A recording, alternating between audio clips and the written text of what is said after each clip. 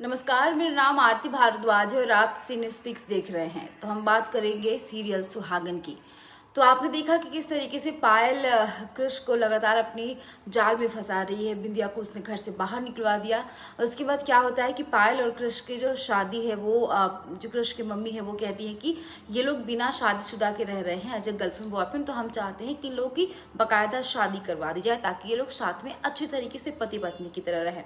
घर वालों में से कोई भी, केवल कृष्णा की मम्मी ही इस बात से खुश है, उनको छोड़कर कोई भी इस शादी से खुश नहीं है।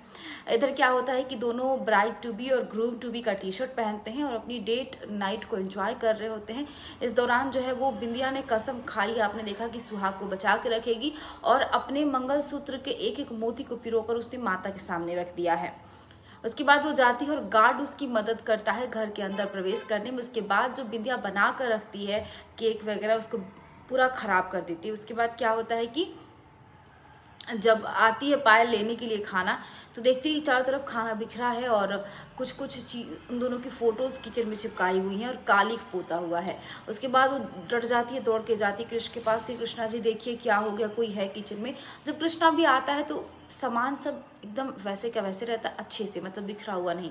तो कृष्णा बोलता है, कहाँ कोई है बिंदिया क्योंकि ये सब जो बिंदिया है, वो जानबूझ के कर रही है ताकि पायल डरे। उसके बाद फिर से वो खाना लेकर चले जाते हैं। उसके बाद क्या होता है, जैसे ही पायल ने जूस में कुछ मिलाया होता है ताकि वो उसके साथ कुछ कर सके। तो जैसे ही जूस पीने वाली होती है, तब तक क्या होता है ना कि वो एक एक पत्थर मार देती है। बिंदिया पायल के हाथ में पत्थर लगता है और जूस गिर जाता है। उसके बाद बोलती, मेरे हाथ में कुछ लगा, लेकिन कृष्णा बोल तुम्हारा वहम है, क्या लगेगा? उसके बाद जैसे ही वॉशरूम में जाती है कि बिंदिया उसके सामने खड़ी हो जाती है, और डर के चिल्लाने लगती है। अब तो भाई पूरे घर वाले एक जगह इकट्ठे हो जाते हैं कि क्या हो गया बिंदिया को पायल को क्या हो गया क्योंकि बिंदिया ये सब जानबूझ के करती है। तो, तो इसी बीच में जो पायल के ससुर जी वो कहते हैं कि तुम क्या चाहती हो कि अपनी बेटी की शादी एक ऐसे लड़के से हो जिसका मानसिक स्थिति खराब हो? क्योंकि जो कृष है उसकी माँ बेटे के प्रति बहुत ओपसेस्ड है मतलब अपने बाबू के लिए वो कुछ भी कर सकती हैं। तो वो कहती है बात तो सही है शादी का डेट अब पोस्टपोन्ड हो जाएगा तो क्या सबसे बड़ा सवाल कि क्या पायल अब अपने सुहाग की रक्षा करने में सक्षम हो पाएगी?